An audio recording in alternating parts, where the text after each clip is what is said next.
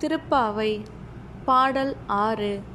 புள்ளும் சிலம்பினக்கான் புள்ளரையன் கோயிலில் வெள்ளை விழிசங்கின் பேரரவம் கேட்டிலையோ. பிள்ளாய் எழுந்திராய். பேய்முளை நஞ்சுண்டு கள்ளச்சகடம் கழக்கழிய காலோச்சி வெள்ளத்து அறவில் துயிலமர்ந்த வித்தினை உள்ளத்து கொண்டு முனிவர்களும் யோகிகளும் மெல்ல எழுந்து அரியன்ற பேரரவம் உள்ளம் புகுந்து குளிர்ந்தேலோர் எம்பாவாய்.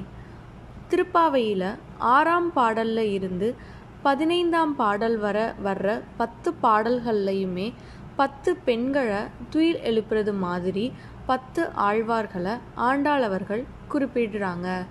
இந்த பாடலோட பொருள் என்ன அப்படின்னா அன்பு தோழியே நீ உடனே எழுந்திரு. பறவைகள் அதிகாலையில் எழுந்து கீச்சிடும் இனிய ஒளி இன்னும் கேட்கவில்லையா?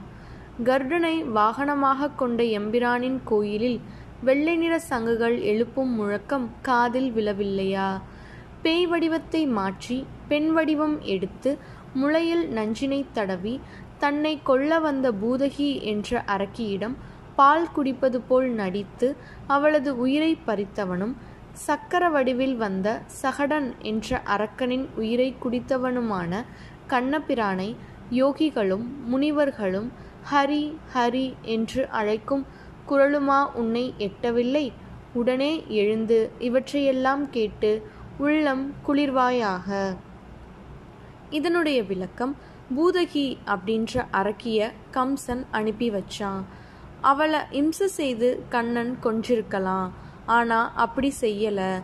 அவனுக்கு பால் தந்து தாய் என்ற ஸ்தானத்தை அடைஞ்சிட்டாளே. அந்த தாய்மையை பாராட்டும் விதத்துல அவளது மடியில அமர்ந்து பாலை குடிப்பது போல் அமைதியாக உயிரை குடித்து அவளுக்கு மோட்சமளித்தான் எம்பெருமான். இந்த பாடல்ல ஆண்டாள் உட்பொருளா தன்னுடைய தந்தையான பெரியாழ்வாரத்தான் குறிப்பிடுறாங்க. புல்லரையன் அப்படின்றதுக்கு கருடன் அப்படின்றது பொருள். திருமாலோட வாகனமா கருடனோட அம்சமா அவதரித்தவர் தான் பெரியாழ்வார். அவரை தான் குறிப்பாக உணர்த்துறாங்க.